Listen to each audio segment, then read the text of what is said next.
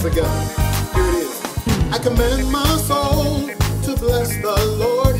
I command my soul to bless the Lord. Help me say it.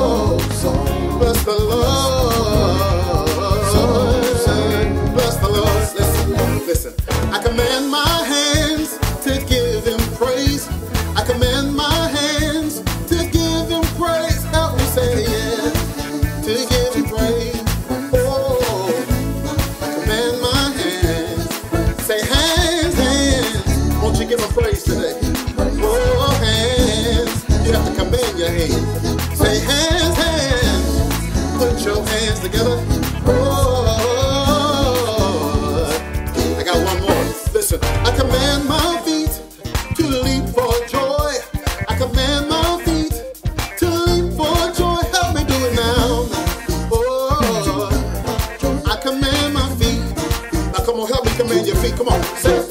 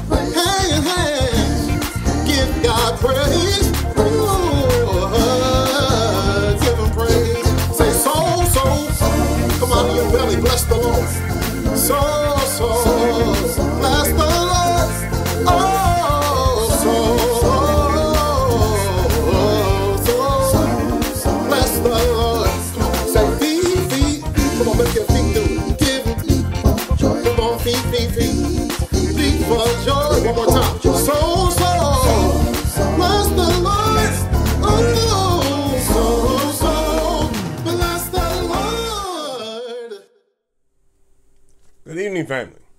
Thank you so much for joining us on, on tonight. I pray that you've had a wonderful week thus far. I pray that the blessings of God have rained upon you and your family.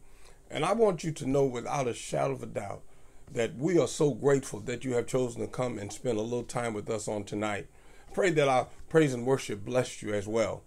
But on tonight, there's something that I think a whole lot of us uh, needs to be challenged on, including myself. Because as I read this text, I was given fresh meaning to what the Lord is trying to say to us through this particular text.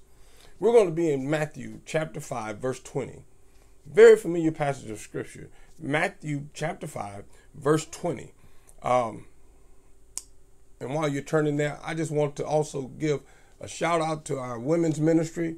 You had a wonderful uh, woman's prayer breakfast on this past Saturday. It was fantastic. The speaking was fantastic. The praise and worship was fantastic. Spoken word was fantastic. And I also want to say kudos to the men of God and the men of hope who stepped in and served our, our, our women so faithfully and, and, and with excellence. Uh, had a wonderful breakfast I've heard nothing but wonderful things about it. And uh, I enjoyed being here. And uh, I don't know about you ladies, but it was a wonderful and blessed event. Amen.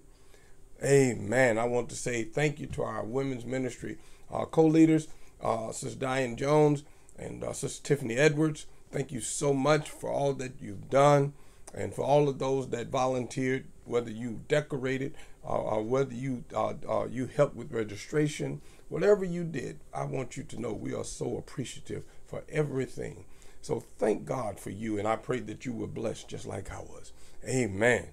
Well, family, Matthew chapter 5, verse 20, it reads, For I tell you that unless your righteousness surpasses that of the Pharisees and the teachers of the law, you will certainly not enter the kingdom of heaven. Wow. Let me read that to you one more time.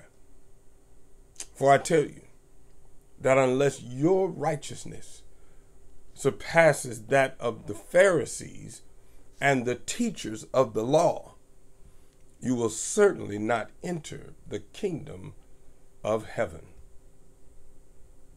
And just for a few moments, family, I want to utilize as topic of our discussion righteousness. What does yours look like? Will you bow with me? Father, we thank you again for a blessed opportunity to come before you. And as always, we do thank you for your faithfulness and forgiving us of our sin. I pray now, Father, that you would have your way on tonight. Move in the hearts of your people. I pray, Father, that your word speaks to them the same way you're speaking to me. I pray that it's clear. I pray that it's powerful. I pray that it impacts their lives in such a way, Father, that as they see the truth of your word, Father, that we choose to begin to become more like you. So, Father, move now in the name of Jesus. Be with those that are having challenges, whether it be health challenges, bereavement challenges, financial challenges, family challenges, whatever the circumstances may be. I pray, Father, that you would soothe those issues in their lives.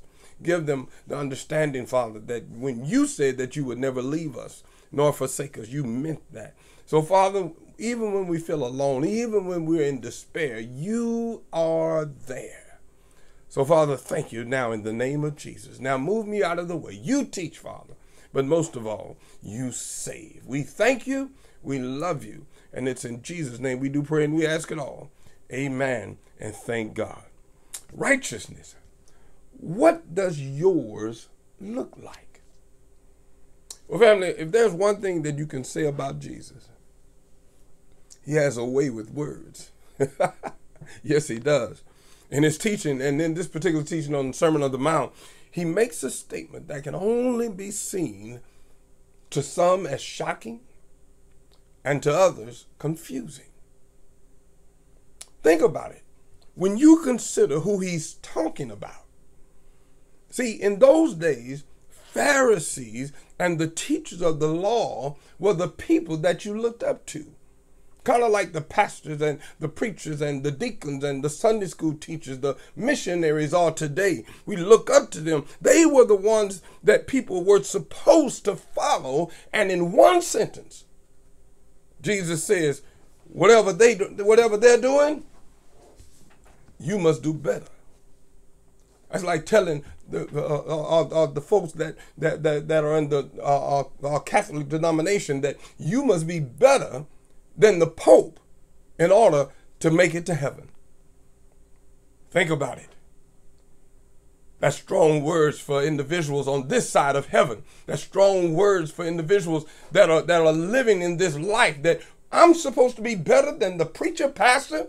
I'm supposed to be better than the one who who preaches the word, the one who brings forth and ushers in the spirit of God. I'm supposed to be better than them.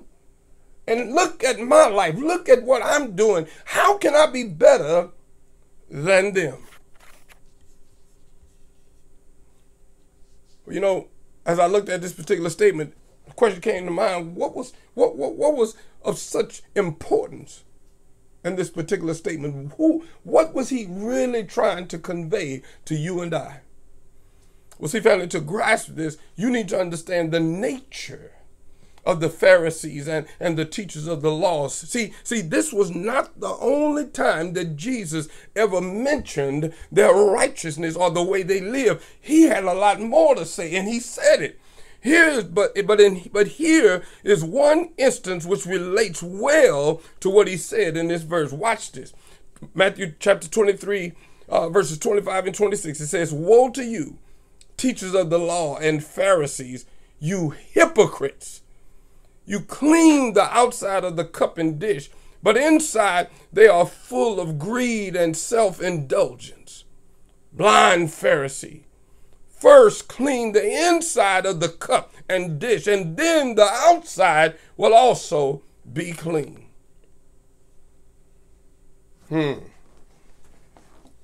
See, in this verse, family, Jesus identifies the problem with the righteousness of the Pharisees and the righteousness of the teachers of the law. See, their righteousness, their what, what they were portraying was only outward.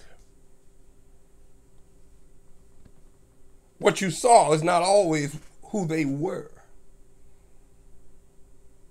And let me just pause there for a moment because just because a preacher pastor stands behind the pulpit, just because a Sunday school teacher stands behind the podium, just because a deacon sits on that front row and prays and, and, and listen, that, that does not mean that they don't have issues. That does not mean that they're not human. That does not mean that they don't sin. So just watch yourself before you start thinking that they are the ones, they are the ones that we're supposed to be uh, uh, uh, desiring to be like because my Bible tells me that my only desire should be to be more like Christ.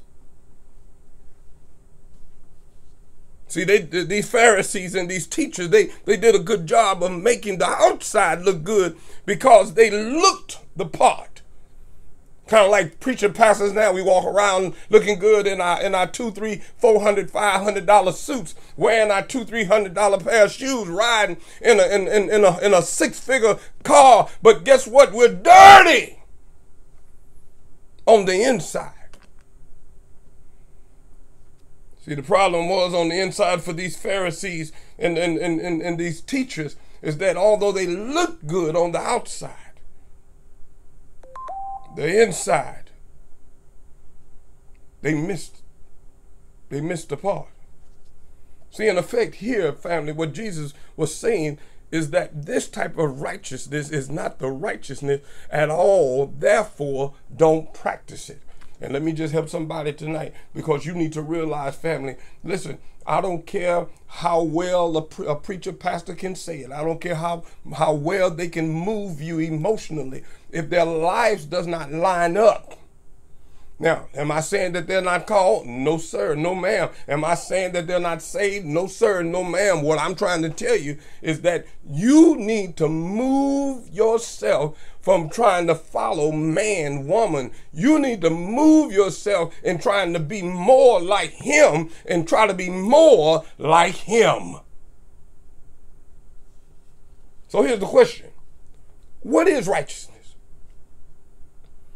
Well, see, but before we go any further and, and, and get to a personal application, let's define the type of righteousness that I believe Jesus was referring to here. See, there are two ways to look at this verse. In one context, the Pharisees and the teachers of the law are attempting to gain righteousness through their own efforts. You see, if and, and, and if you believe that, that that's the way to righteousness, Jesus says is not. See, there's nothing that you can do, there's nothing that you can say. You can't buy it, you can't earn it. Salvation is free, it was paid for on the cross. So there's nothing that you could do.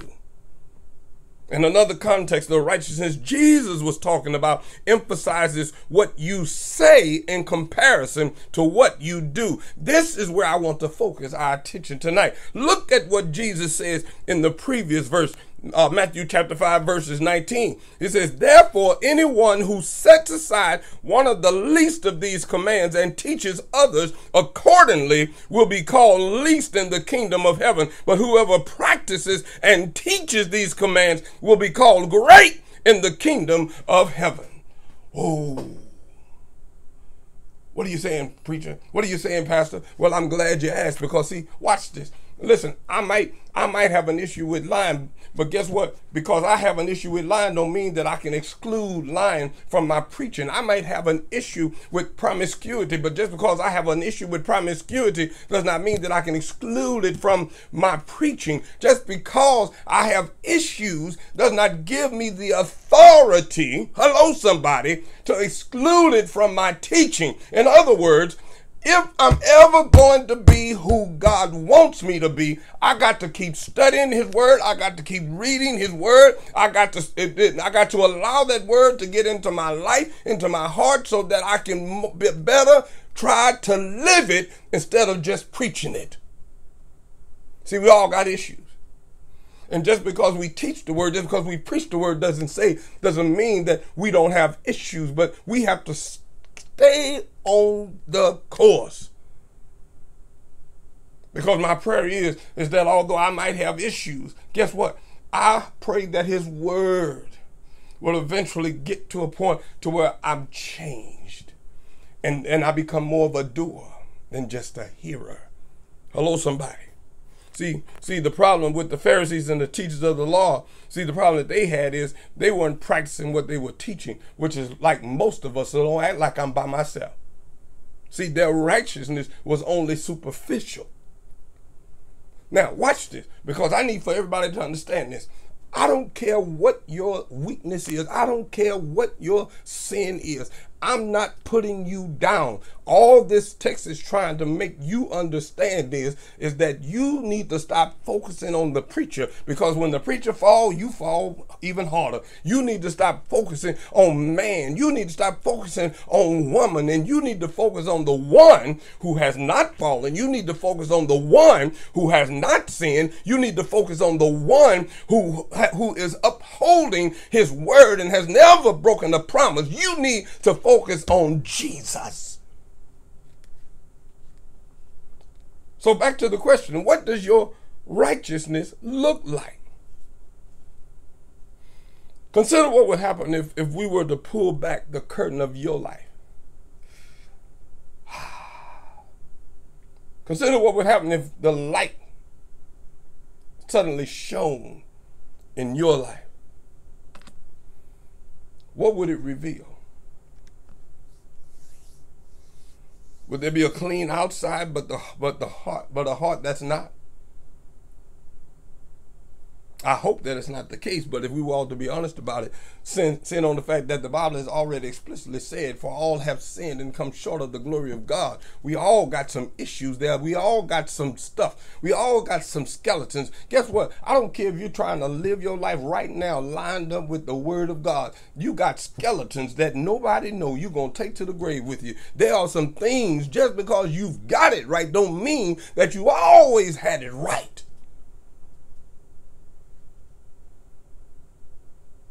To be clear, family, we ultimately we are justified and we're made righteous through Christ. However, in this particular context in our lesson tonight, Jesus is also talking about your words and your actions. See, is your outside truly a reflection of what's on the inside, or is it just for appearance sake? In other words, are you a poser?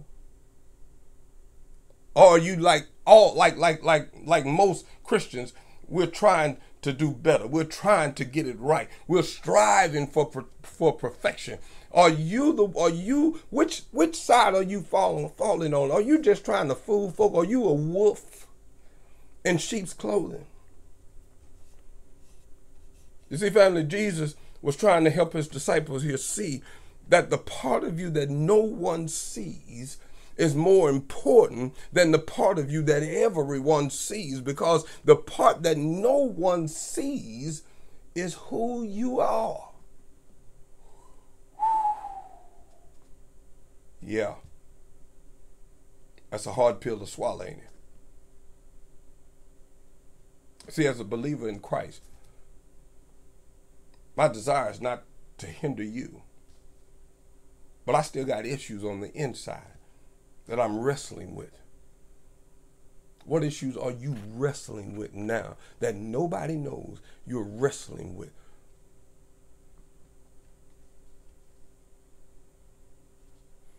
So, family, as we search our hearts today, it's safe to say that we all have areas where what we say and what we do don't always line up. Are you with me? And ultimately, this is why we must depend on the righteousness of Jesus and not our own.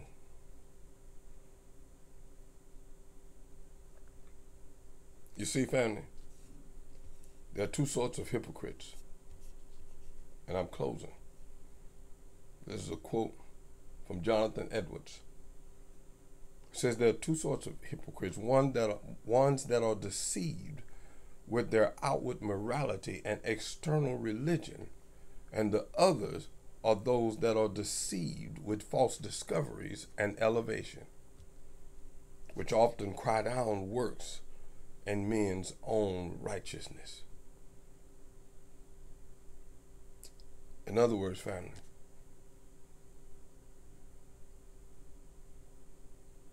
when you think about the ones that are deceived with their outward morality and external religion, those are the posers. They act the part. They act like they got it all together. They act like they have no issues. They act like they are sinless instead of sinless. They give you the picture. But if you would turn the picture over and see what's on the inside, you'll come to the realization that they're not what they seem. But then you have those others that are deceived with false discoveries and elevation. In other words,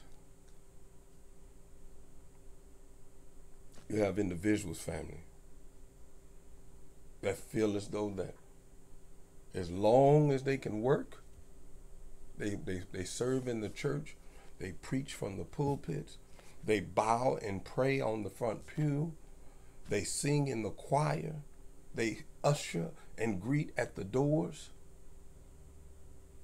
They do everything thinking that based on their works that they'll get into heaven, but their lives don't line up outside the church. God is saying for you and I tonight, don't depend on none of that. Because at the end of the day, my death, my burial, and my resurrection has made you righteous with the Father. And nothing you can do, nothing that you can say can earn you a key or a ticket to the kingdom. Only by his grace and his mercy can you get to the Father's house. So my challenge for you tonight is stop stop with the facade of who you think people want to see. Be who you are in Christ Jesus.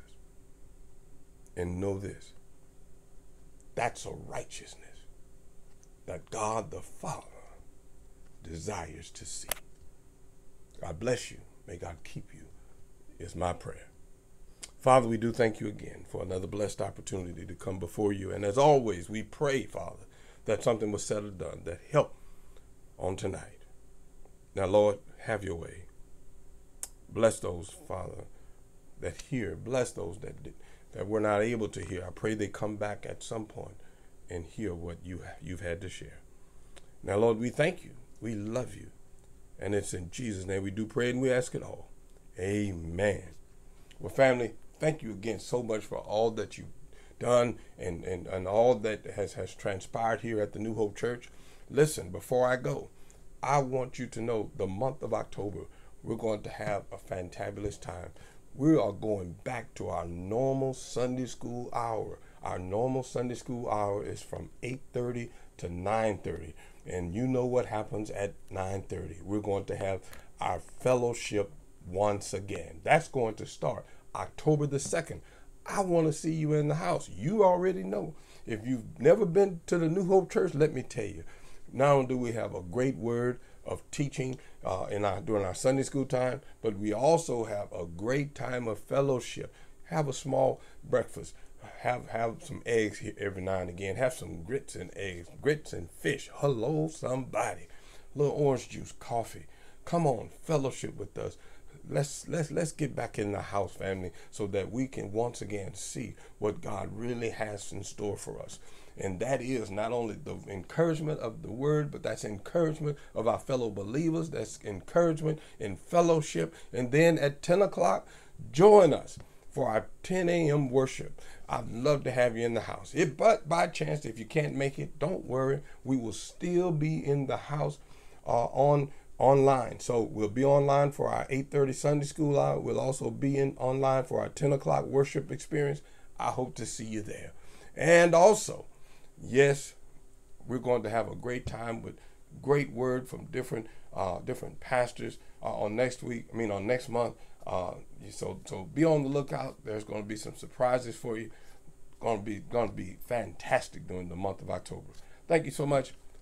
Be blessed. Don't ever forget. I love you, and there's nothing you can do about it. Good night.